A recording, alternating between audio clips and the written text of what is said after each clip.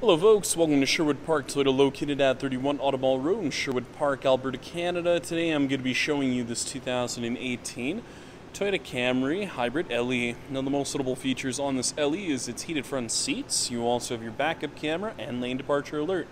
Now, I'm going to go through a couple more features on the inside and outside of the vehicle just to get you better familiar with this 2018 Toyota Camry Hybrid LE. Let's get started.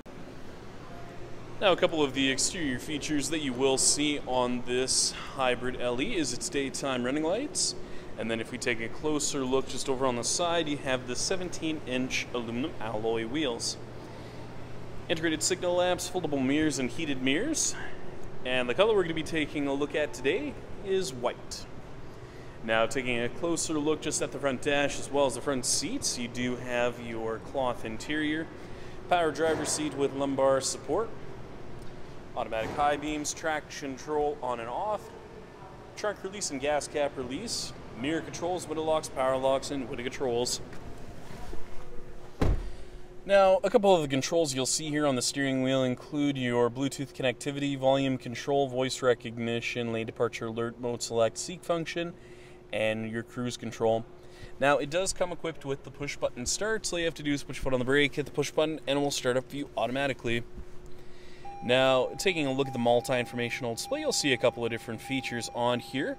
So if we take a closer look, you'll have a couple of other additional features in here. So if we take a closer look here, sorry about that, folks.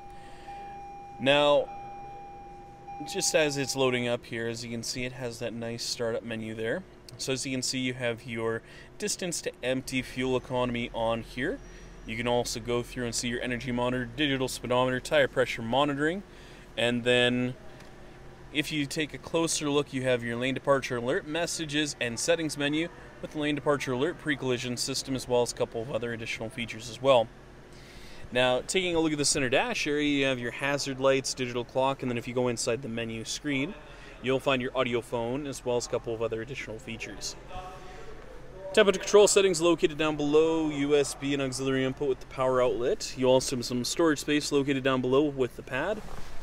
Mounted to an automatic transmission, eco, normal, and sport mode with the EV, heated seat controls for your driver and passenger. And then taking a look at the backup camera, as you can see, you have those nice guiding lines in there, making things much easier for you when you back into a stall. Finally, we'll be taking a look at your rear cargo area as well as your tailgate. Now, if you take a closer look underneath, you're going to find your backup camera. And one of the nice things with this hybrid LE is that it has the keyless entry system as well as automatic trunk release. So if your lock, unlock, trunk release, and panic button, so if you hold down the trunk release for approximately two seconds, it'll open up for you. If you need more additional space, you can fold down the 60-40 split rear seat for yourself by pulling on one of the two tabs that you see up top. You have the cargo net in the back. Taking a look underneath, you have the jack and toolkit as well as your spare tire. So if you do find yourself in a bit of a pinch, you know exactly where it's located. Thank you so much, folks, watching this video today. If you have any questions, please visit us. We're located at 31 Automall Road in Sherwood Park, Alberta, Canada.